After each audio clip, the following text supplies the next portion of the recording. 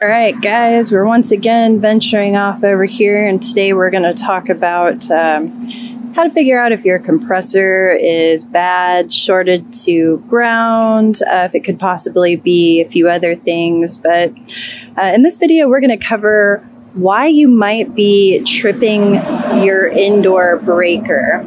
So let's get to it and uh, go over some possibilities.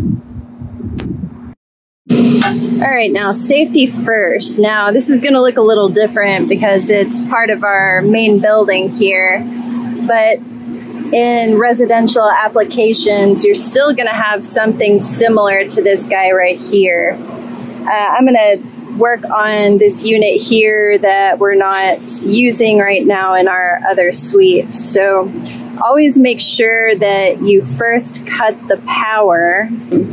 This is your disconnect. We're just kind of going to go under here. You can see that ours is already off, but uh, just make sure, you know, when you're flipping the switch here, that you do flip it all the way down, make sure it clicks, and we're not always going to trust that, right? So we're going to go over to our unit and we're going to first check power before we even get into touching the compressor. All right, so what we're working on here, it's an old style Rheem. It's gonna kind of pull off the side. And most of you are gonna have a panel that's gonna look different than uh, this. This is kind of a Rheem, Ruud uh, thing. So a lot of these have these slide ends like this. And what I like about this design is it actually keeps the electrical panel off here on the side with the compressor separate from the fan motor, which is really great when you're trying to work on a unit. So this is just gonna come off of here like this. And as you can see, they've got their electrical up here and the compressor is down here off to the side away from the motor. All right, so here we are. We're gonna go ahead and lift this. Now this Rheem unit is a two stage, which means it's going to have a control board here and it's not going to have a contactor because the contactor is actually going to be all integrated here in your main control for the outdoor unit. You know, we've got our capacitor, our relay for our hard start, our hard start, and this is our uh, control board. With these, um, you're not going to see a contactor um, to check for power and I can show you here in a second what the uh, main contactor would look like in a normal unit.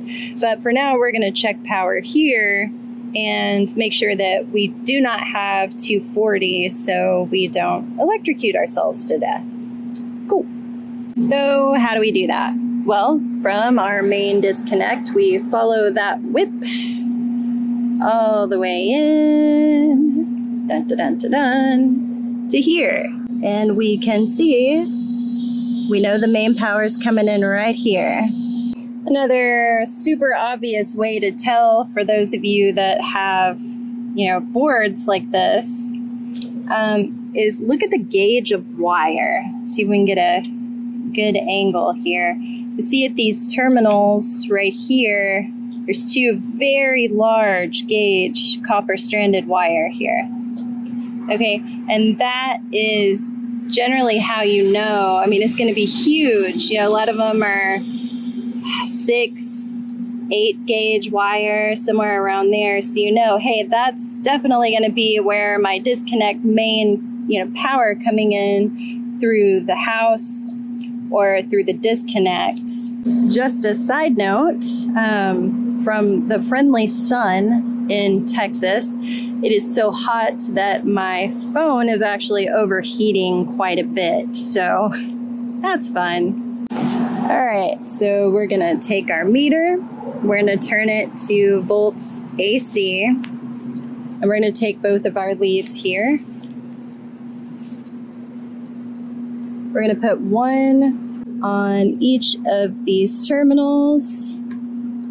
Make sure it's tightened down really well. If you're just gonna, you know, check it this way, we're just gonna directly connect it.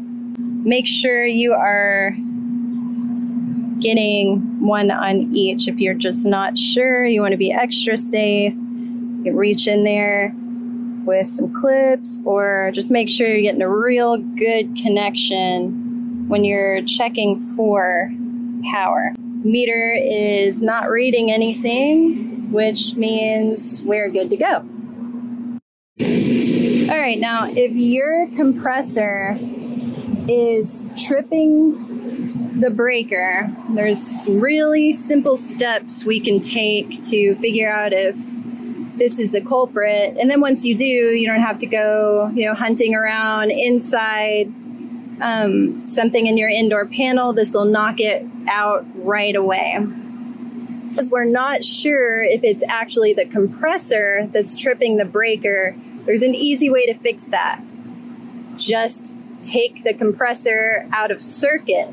So this big old plug on here, this is a Copeland style plug. There's a few different sort of plug types. There's Copeland, uh, LG, Bristol, Danfoss. I've seen a few. Um, some of them, you know, they look different, but the idea is the same. Somewhere in your unit, you're going to have something that looks like this, or it's going to be kind of a short, stumpier guy. I'll, I'll put up an image of that on here.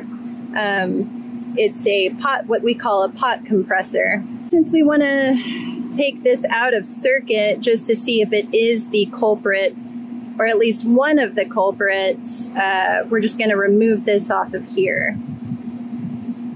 All right, right off the bat, just make sure that you did double check that the power is not on. Very, very important. So now we're going to take this and we're going to remove it. Okay. And this will take the compressor out of circuit so we can see if it does in fact cause the breaker to trip right away. So obviously don't leave it that way, don't leave it on. But if we're not tripping a breaker, we know 90% of the time it's usually a shorted compressor.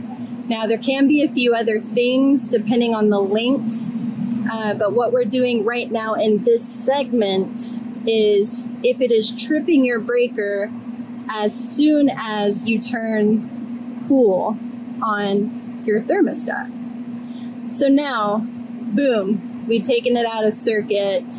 It does not trip the breaker. So how are we going to make double sure that this is in fact the culprit? Well, Let's whip out our meters. All right, just make sure that your meter is turned over to continuity for this test right here, this symbol, because you want to hear the beep. You want to know that it is in fact, you know, it does have continuity. And there should not be continuity in any of your windings on the compressor. So what we're going to do is we're going to test that against this copper pipe here. And so ours is kind of dirty. You might have to kind of scratch or scrape. Like this I can see right here is the best point to test it against. And I'm just gonna you know, scrape it, make sure I can make a good connection. And now what we're gonna do, I'm gonna show you the plug because the plug kind of has it labeled there, but we're not gonna test it on the plug. So see how it has S, C, and R, which stands for common, start, run. So those plugs, those prongs that are stuck in there, that is what we're gonna put one side of our lead on. We put one here, you know, any one you can start, doesn't matter. And we tested it against the copper line. All right, no continuity. Good, okay. So we're gonna check it against the next prong. Good, no continuity. Perfect, perfect. And then we're gonna test it against the last line. No continuity. Now, if you do hear the beep and you need to check all three windings, if you do hear a beep, your compressor has shorted to ground, therefore it is bad You know the simple ways that could be tripping a breaker, you know, if we can just easily say, all right, uh, well, it's no longer tripping a breaker, so it's got to be the compressor. Key fact that we need to know specifically is time frame to trip the breaker. So how long when you, you know, turn on your cooling, how long does it take to trip the breaker? It's the key piece of information we need to know. If it is tripping the breaker immediately, that is when we come out here and we test this, okay?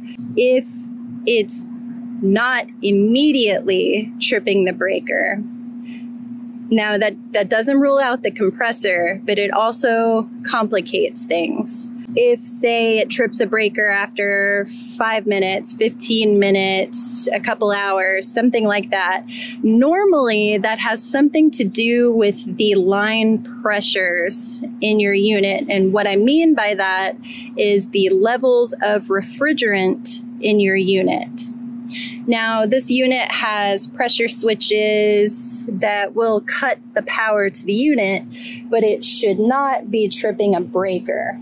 Now, if it's tripping a breaker, unless you have a weak breaker, that implies that that is a massive strain on your compressor and it's to overamp and boom, it's to trip that breaker, right? So at this point, we need to know what is causing that since now we can rule out, you know, we've done the continuity test, right? You know, we don't just stop at removing the plug and assume it's a bad breaker. Uh, reason for that is you can remove the plug, which effectively takes the compressor out of circuit. But if you have line pressure issues, and this is specifically for the people whose breakers don't trip right away, it could be over 70% possibility here. You've got a refrigerant leak. If someone came in and charged the unit recently, they could have overcharged it. The refrigerant could just be running low. There's a few different factors there. A good way to tell when your compressor is overamping, um, that's going to require you to get something like this. Now, you don't have to get an expensive one like these, but something that has an amp clamp because you're going to measure the amp draw of your compressor. Obviously, if your compressor is going way above what it lists on the initial amp draw here, then you know something's going on with your line pressures and you need to have someone uh, unless, of course, you're a technician, you need to have someone come out and check your refrigerant levels. What you can do up until then is at least check the amp draw on the unit, and it'll tell you here how many amps it should be pulling. It should say something like FLA, like full load amps, but mostly just be looking at the amp draw and make sure it's not pulling over that amp draw. With most compressors, unless you have a hard start or a soft start kit, it's going to kick on, it's going to pull a lot of amps up front, and then you should see that number start to go down. Uh, it should never overamp. It should never overamp for any amount of, you know, a somewhat extended period. Now, it is always going to pull more on startup, especially if you do not have something like a compressor saver or, you know, a soft start kit. So just keep that in mind that if you're not tripping a breaker right away, it could be some of these factors. Another thing that so many people fight me over and they don't realize is that it is so important to keep your indoor coils cleaned as well. Now, obviously, this is a unit we don't have in use because you can see it's pretty dirty here.